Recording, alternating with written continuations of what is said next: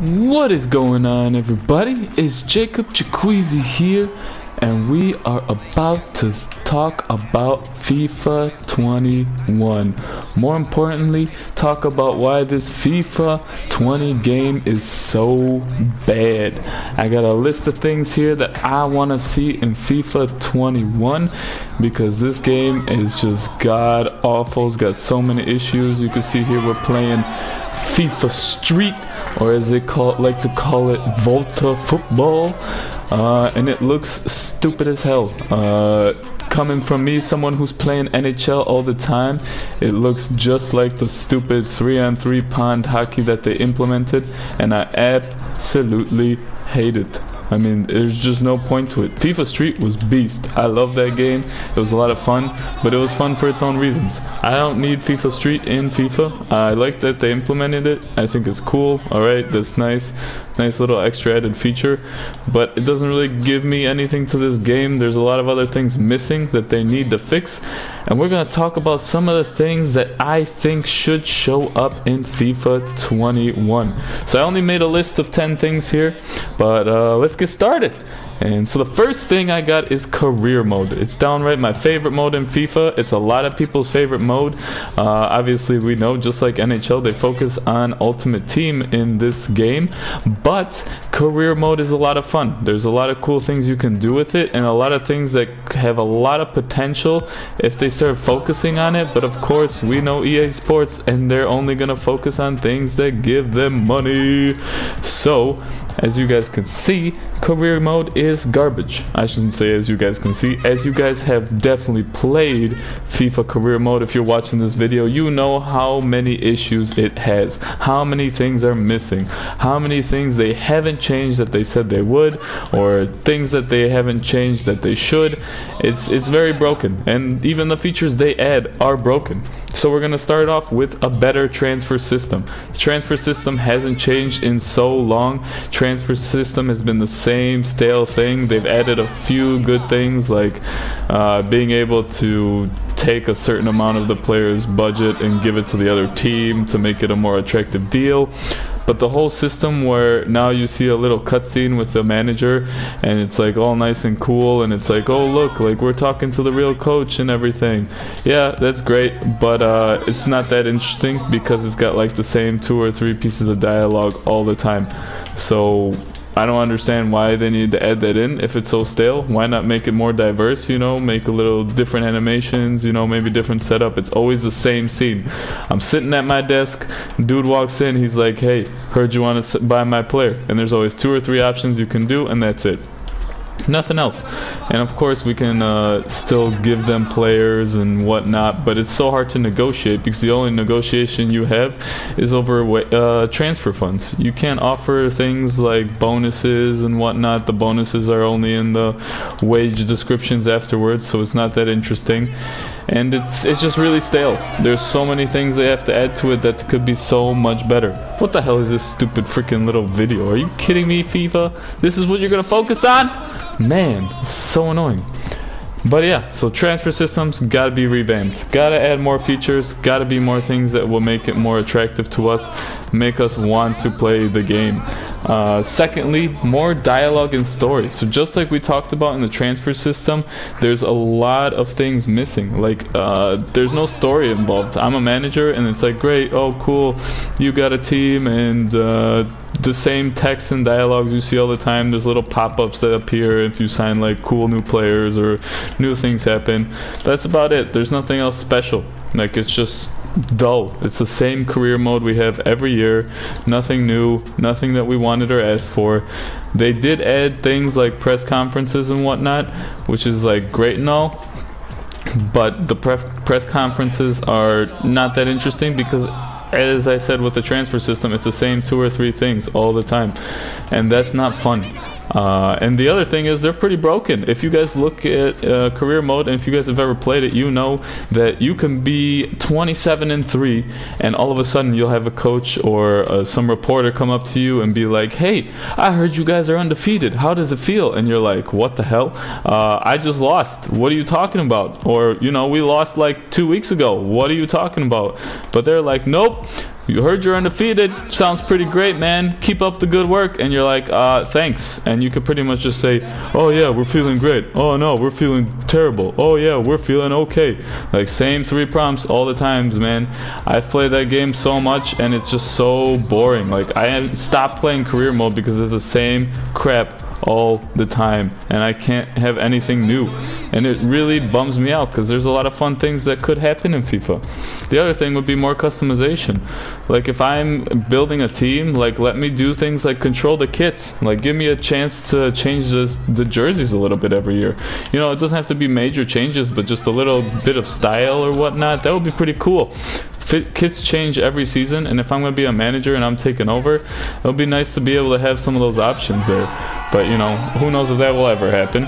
Second thing, like, what about a stadium? Like, teams change stadiums often. Teams add things to stadiums, make them look cooler. Why not give us that customization? That would be awesome.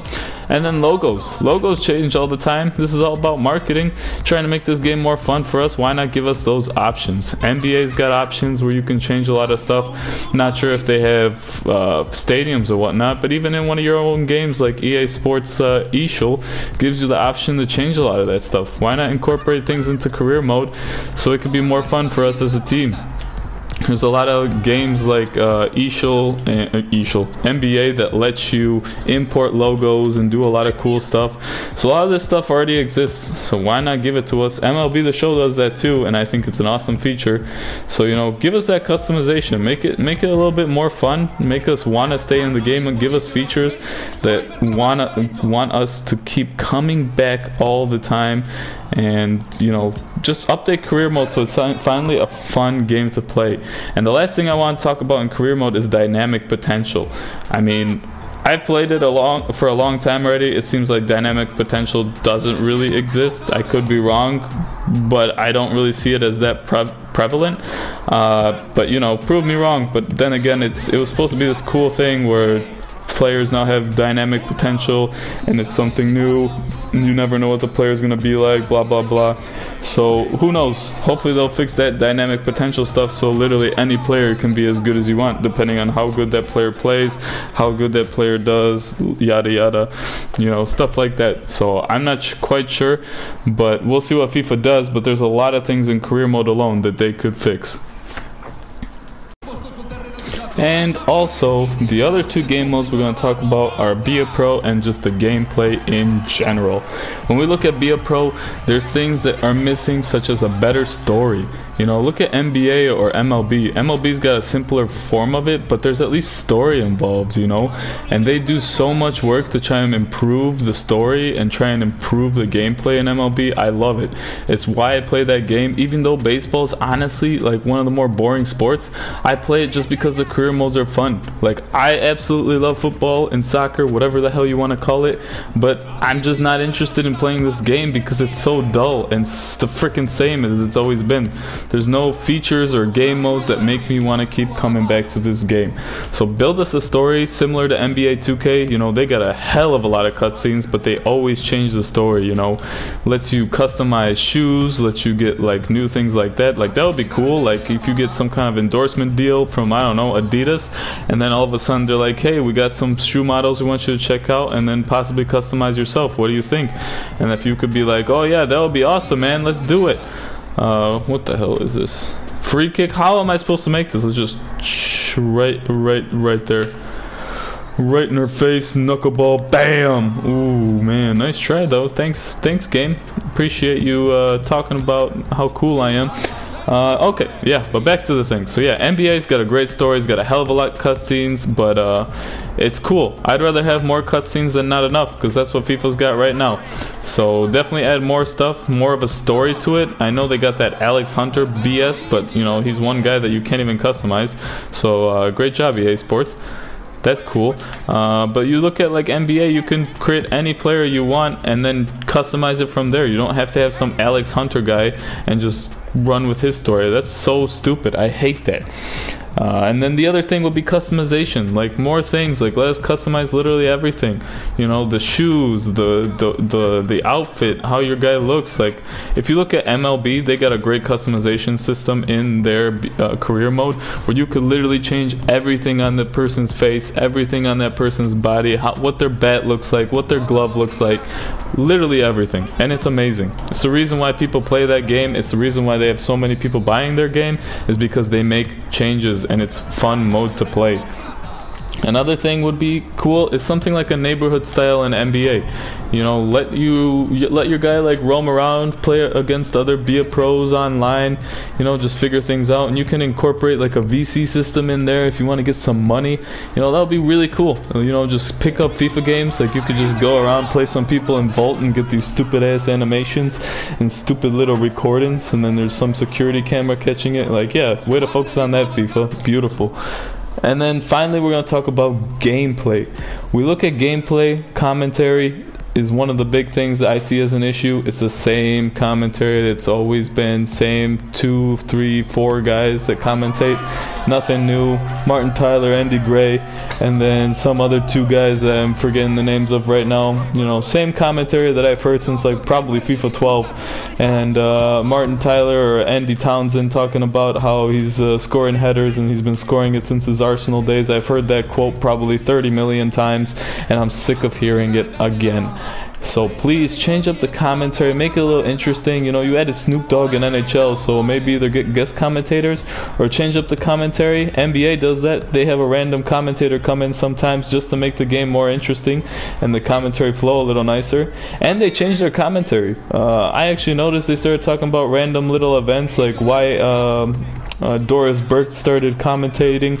They just have like these little stories in there that really make it feel like this is a real NBA game and like this is really what people talk about. And that's what's cool, you know? That's why people play that game because it's new, it's got new flavor all the time, and they really focus on their game, which is amazing. Uh, so the other thing, like I've been saying since the beginning, game feels the same. The gameplay doesn't really feel that different. They changed little things here and there, and we're gonna finally round it out with this game is too easy. Like I said, the gameplay has been the same all the time. There's nothing you need to adjust to, so it's really easy to be good at this game. It's really easy to just own teams if you want to.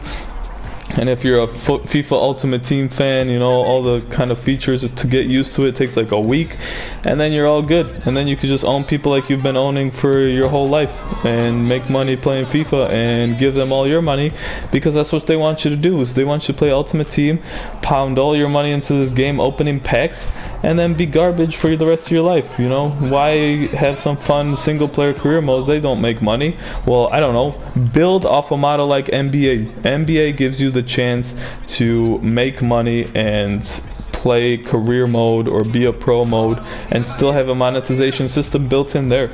I don't understand why FIFA can't do the same thing. It would be a great, great feature to have for them. You know, just, you know, build some kind of virtual currency in there. So if you want to buy new stuff, you can. And it'll be that easy. You know, just be like, hey, I want to buy uh, some new shoes. And if I want to buy new shoes that will improve my speed, I can. But, you know, that's probably never going to happen. FIFA just going to be like, no, we're just going to keep the same gameplay we've had all along and be dumb. So, all in all, FIFA 21's got to have a lot of new features in order for this game to be better.